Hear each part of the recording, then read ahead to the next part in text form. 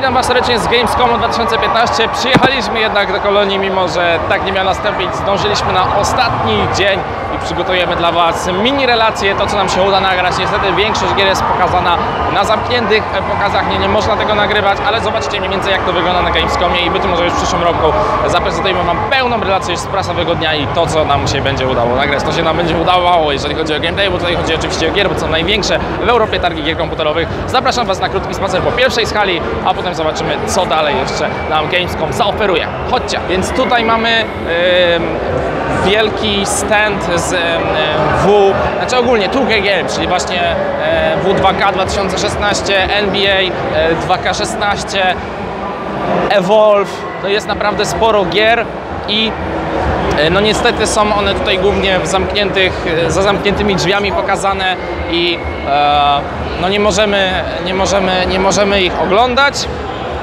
ale jeżeli chce się czekać w kolejce, to oczywiście można poczekać i wejść i wtedy te gry jak najbardziej można zobaczyć. Tu jest drugi bardzo, bardzo fajny stand, czyli e, właśnie stoisko Ubisoftu, na którym jest oczywiście Assassin's Creed Syndicate. No i ten Assassin's Creed również niestety pokaz zamknięty, niestety nie możemy go zobaczyć. No nie będziemy teraz nawet stać w kolejce, żeby w niego zagrać. E, no cóż, musicie poszukać jakichś innych recenzji u innych ludzi e, z tego, tego gameplayu, chociaż jest to chyba jeszcze wczesna wersja tej gry. Z drugiej strony premiera w listopadzie, więc może to, e, może to być różnie.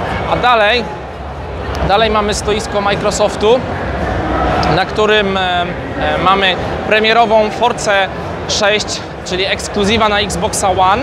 Mamy oczywiście również Minecrafta, Windows 10 Edition Beta, czyli Minecraft będzie na Windowsie 10, czyli prawdopodobnie będziecie mogli również w niego na tablecie zagrać, na przykład z Windowsem 10, co jest myślę fajną informacją, ale była już przecież wersja mobilna Minecrafta, ale to jest ten najnowszy, prawdziwy PC-owy Minecraft, tylko na Windows 10 i jeszcze w wersji beta. Mamy oczywiście tą Force 6, o której już opowiadałem i ona jest oczywiście pokazywana na Xbox One, bo to jest ekskluzyw na Xbox One, a tam jeszcze jest w oddali Tomb Raider, nie wiem czy to będzie widać, można zrobić przybliżenie. Rise of the Tomb Raider, tutaj mamy Project Cars również w wersji na Windows 10, więc no dziwne, bo Windows zawsze był gamingowy, więc nie ma chyba się co w tym chwalić, że Windows jest gamingowy. I podejrzewam, że niestety Rise of the Tomb Raider, tak jak myślałem, Tomb Raider, Tomb Raider też jest za zamkniętymi drzwiami niestety, czyli jest naprawdę niestety dużo gier, które są za, z zamkniętymi drzwiami, nad czym no niewątpliwie ubolewamy bardzo. Ale tak bywa. Jest także Fable Legends tutaj, czyli to jest seria, do której Microsoft powraca z Xboxem. Można, można zagrać. Fable. Na pewno pamiętacie najlepsze czasy Fable, jak była na Xboxa 360, ale to już minęło.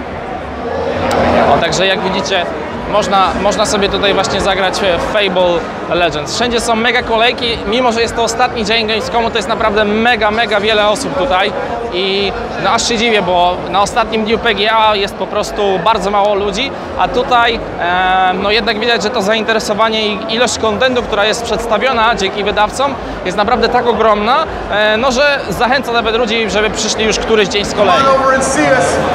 Co jest też ciekawe, mamy Rainbow Six Siege i tam są pokazy e, różnych gier, znaczy na tych ekranach Ubisoftu, bo można zobaczyć zarówno Tom Clancy's The Division, który tutaj mamy wielki taki plakat właśnie Tom Clancy's The Division, jak i Rainbow Six Siege, jak i Assassin's Syndicate, więc niektóre fragmenty gameplayu są pokazywane. O, tutaj możesz pokazać, jakie są ogromne kolejki na czekanie do, na różne gry. Także po prostu e, ludzie, sobie, ludzie sobie nawet przynoszą krzesełka, jak widzicie właśnie, Zerok sobie przyniósł e, krzesełko. E, nie tylko on, wie, wielu ludzi przynosi krzesełka, ponieważ no, e, stanie w tych kolejkach jest naprawdę mega długie, żeby się doczekać, żeby jakąś grę obejrzeć. No co jest zastraszające wręcz, jakie tu są. No i dobrze, i tu są takie już poboczne stoiska, do których dochodzimy. I tutaj na tych pobocznych stoiskach po mojej prawej stronie mamy właśnie The Uplay Lounge, czyli coś takiego, gdzie możemy widocznie jakieś funkcje Uplaya albo jakiś widzę tam konkurs jest. Potem mamy Trackmanie e, Turbo, mamy Anno i mamy również Heroesów 7.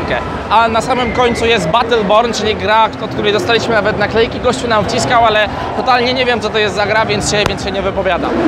Ok, więc tak wygląda pierwsza część tej hali Gamescomu, a w następnym filmiku pokażę Wam drugą część, czyli strefę EA.